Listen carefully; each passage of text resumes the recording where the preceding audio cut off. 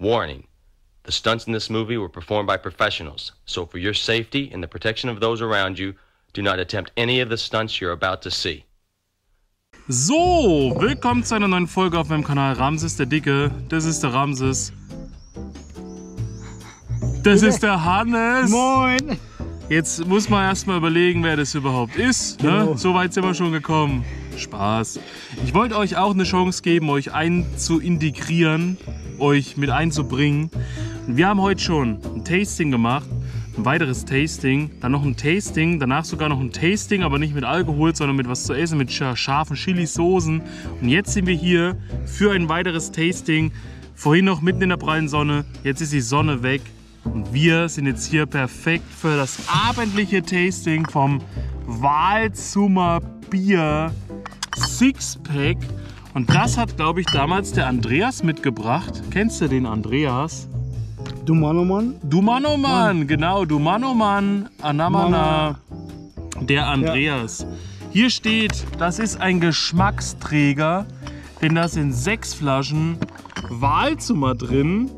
Walzummer Brauhaus Urpfälz. Das sind aber, glaube ich, nur drei Sorten. Von jeder Sorte zwei Flaschen. Die werden wir jetzt mal probieren. Was ist denn los? Meldest Nein, du dich wie in der Schule? Dunkel, hell und IPA! genau. Spaß. IPA ist natürlich nicht dabei. Das gibt's ja nur irgendwo im Hinterwald. Warte mal, das sieht gut aus. Das müssen wir als letztes machen. Ich guck mal. Wir Hell. fangen mal mit dem Etikett an. Das ist nämlich das erste Bier, was wir haben. Das hat ein weißes, edles Etikett. Das hat 5,2 Prozent. Und das ist Waldsummer Hell Naturtrüb. Was sagst du dazu? Mainz. Meins. Hell ist immer gut. Kommt aus Walsum, nicht aus Mainz. Original Brauhaus Abfüllung. Walsumer Brautradition von Hand gebraut, naturbelassen. Aus Walsum.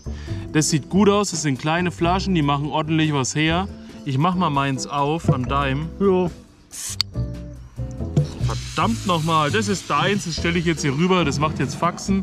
Hast du da gerade was rausgeholt zum Nein. Öffnen? Nein, Wie nein? ich habe leider nichts Ich rausgeholt. dachte, du hast was geholt zum Öffnen. Nein. Dann nehme ich mir das zweite Bier. Was wir nicht testen und macht das. Es geht halt auch nicht auf. Was ist denn jetzt da hier? IPA! Also, das ist ja wieder mal. Aber Hannes, wenn du das machst, dann muss ich, dann muss ich eigentlich das nächste machen. Ja, Das ist das Walsumer Bier-Tasting. Wir sind Professionelle. Lasst uns da mal machen. Also, naturtrüb, hell. Und eigentlich hätten wir es jetzt aus der Flasche saufen können, aber wir füllen es uns mal ins Glas ein, dass man ein bisschen noch was sieht vom äh, Farbe. Von der Farbe her. Das musst du auch ganz reinfüllen. Es ist wichtig, dass dieses ganze Bier in dieses ganze Glas reingeht. Das ist nämlich, bei dem passt es halt wirklich, das seht ihr ja nicht. Der Hannes hat halt alles reingefüllt. Das ist eine Käste Production. Wir stoßen mal an. Roast. Das ist ein bisschen dünkler als normal, obwohl es helles ist. Das verstehe ich gerade nicht, dass das helle dunkel ist. Nicht schwarz, aber dunkel. Und es ist total trüb, obwohl es helles ist. Und wir probieren mal, was der Hannes schon getrunken hat. Helles Bier ist immer gut.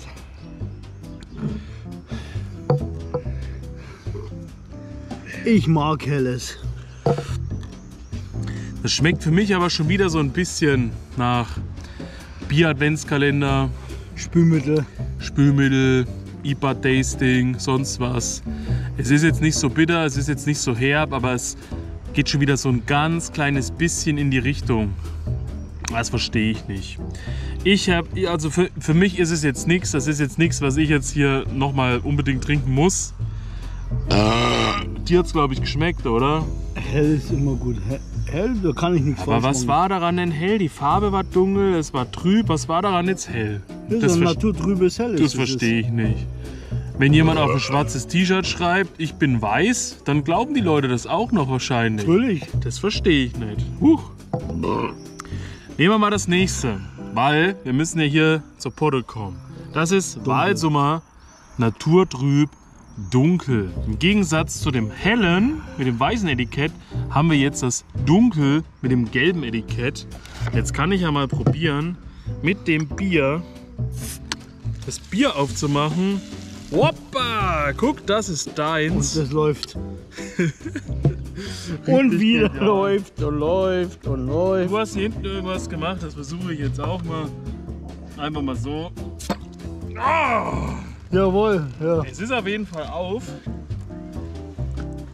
Den Stöpsel habe ich auch gefunden. Das ist immer wichtig, dass ihr da nicht die Natur Urin und deswegen füllen wir jetzt mal das Walsummer dunkel in das Bierglas. Das hat nämlich auch 5,2.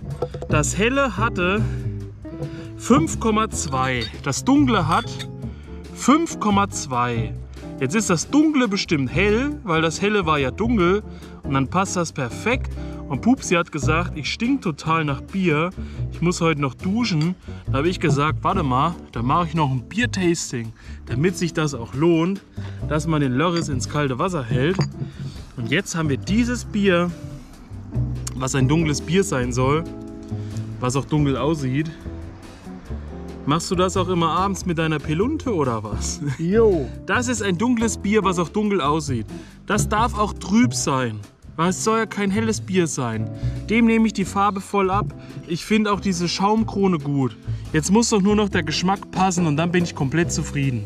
Hannes, stoß mal an. Prost. Auf dieses dunkle, helle, farbige, aromatische. Ich warte wieder, bis er fertig ist.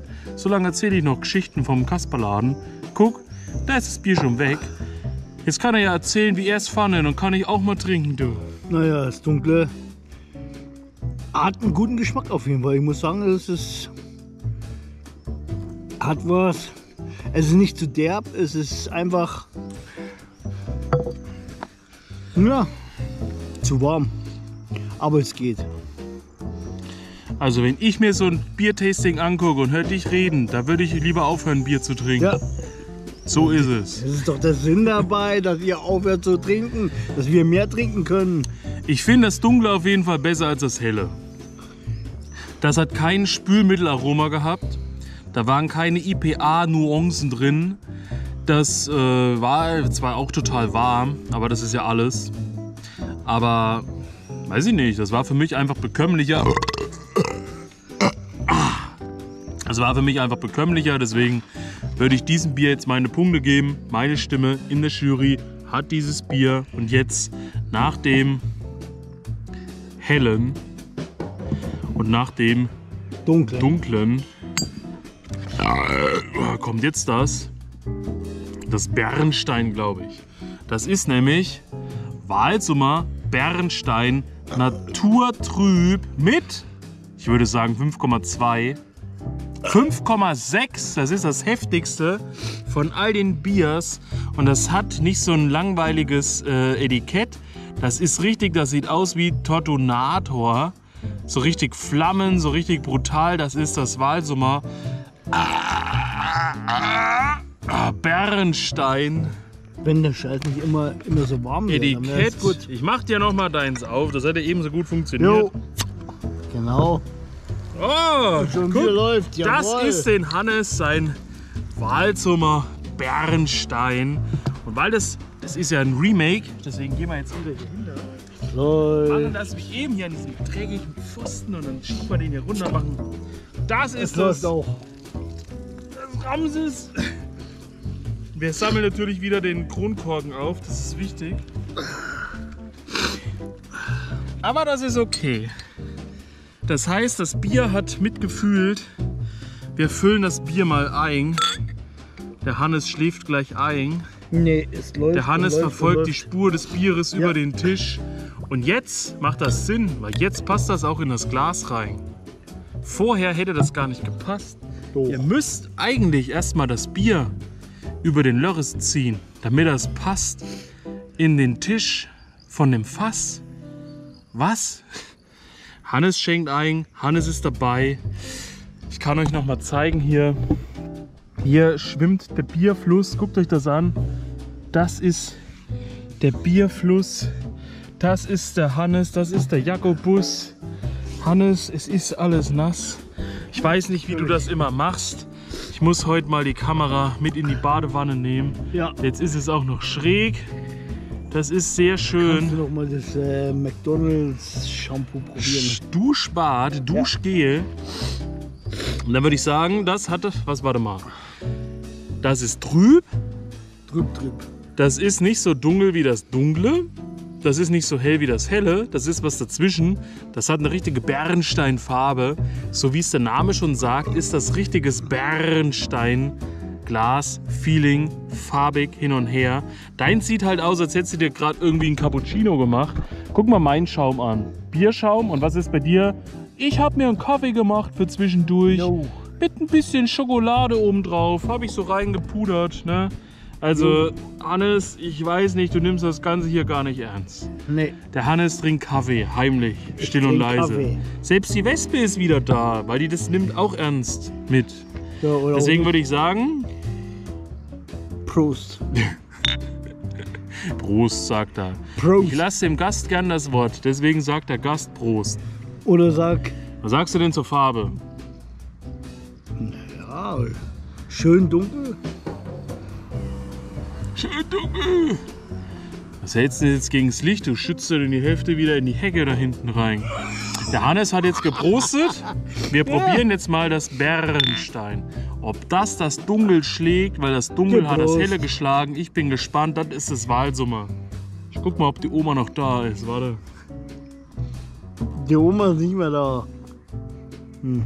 Prost.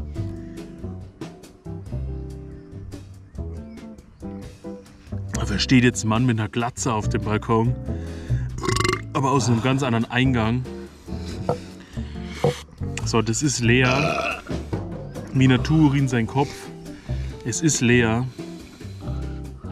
Hat dir das jetzt geschmeckt?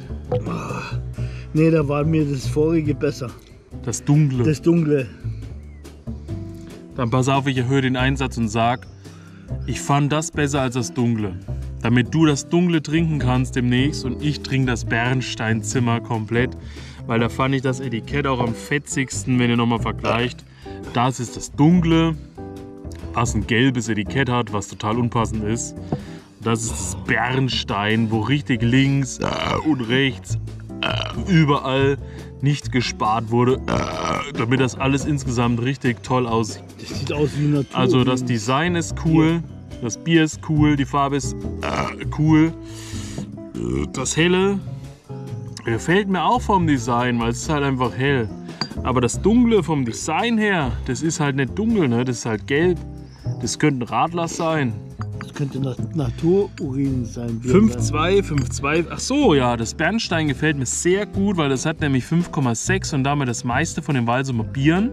Plus das beste Etikett, plus die beste Farbe, plus den besten Schaum, plus der Hannes trinkt es mir nicht weg, weil er das nicht so gut fand. Und deswegen ist das Walsumer Bernstein das beste. Oh, jetzt ist es rot. Macht's Plus weg, genau. Ich bleib beim Hellen definitiv immer. Hannes bleibt beim Hellen. Ja. Das war's. Von meiner Seite aus, von Hannes seiner Seite aus. Wir sehen uns beim nächsten Mal. Bis dahin, Peace out, Vorhaut, euer Ramses. Und das, jetzt wissen wir ja, wenn wir was filmen, dann erst abends nach 20 Uhr. An diesem Tisch wird nicht gelogen. 20 Uhr, jetzt immer hier am Start einschalten. Jetzt sind sie fort. Wie Harrison. Ah.